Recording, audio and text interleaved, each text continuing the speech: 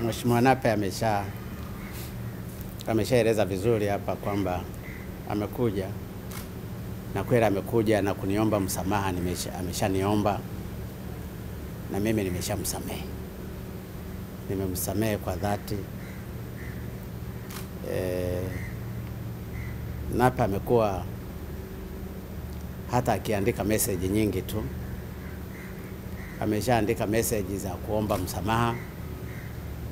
Saa nyingine anaandika hata saa nane za usiku akiomba msamaha.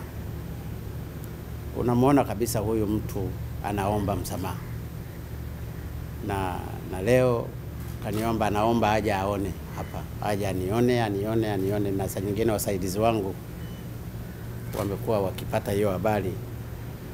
Amejaribu, alienda kwa mzee Mangula, alienda kwa, amefika mpaka kwa mzee Absoni, amefika mpaka kwa mama Nyerere, si ndio bana? Amehangaika kweli, lakini baadaye ni katika hiyo hiyo kwamba sisi tumeumbwa kusamehe, na leo umemwona asubuhi amekuja hapa, baadaye nikaona ah, siwezi nikamzuia kumwona, ngoja niache shughuli zangu nimwone kwanza. Nilikuwa na kikao kingine, amekuja hapa ameniomba, kikubwa anachozungumza, naomba babu nisamehe. Kwa hiyo inauma, kusamehe kunaumiza, lakini nasema kwa dhati kabisa nimemsamehe, sincere, nimemsamehe kabisa, na ameeleza yaliyokuwa yanam, yanamsibu.